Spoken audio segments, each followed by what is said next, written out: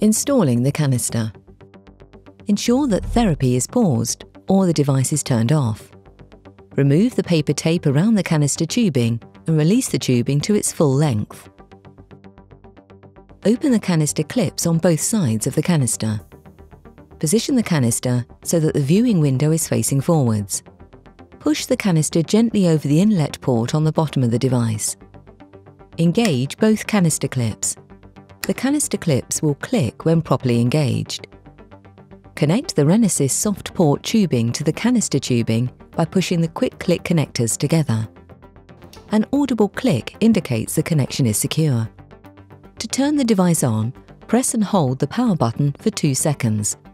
The touchscreen will illuminate and initiate the startup sequence. Cautions Canister kits are single-use non-sterile. Always use the smallest canister volume possible. Do not use the 800ml canisters on patients with high risk of bleeding.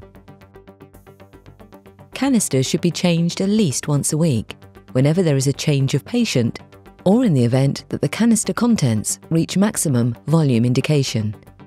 Do not wait for canister overcapacity alarm activation to change canister. If change of patient, ensure RENASYS touch device has been cleaned in accordance with directions in the operating manual before use.